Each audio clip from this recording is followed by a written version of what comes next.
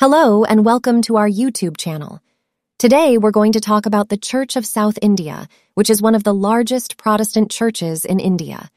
The Church of South India was founded in 1947 after the merger of several Protestant denominations, including the Anglican Church, Methodist Church, Presbyterian Church, and the Congregational Church.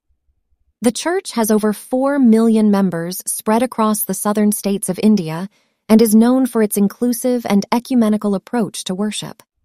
One of the unique features of the Church of South India is that it celebrates Holy Communion in both the Anglican and non Anglican traditions. This reflects the Church's commitment to unity and diversity in its worship practices. The Church also has a strong emphasis on social justice and community development. It runs several schools, colleges, hospitals, and other charitable institutions that serve the underprivileged and marginalized sections of society.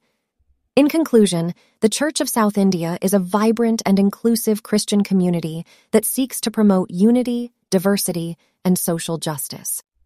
Thank you for watching, and we hope you found this video informative.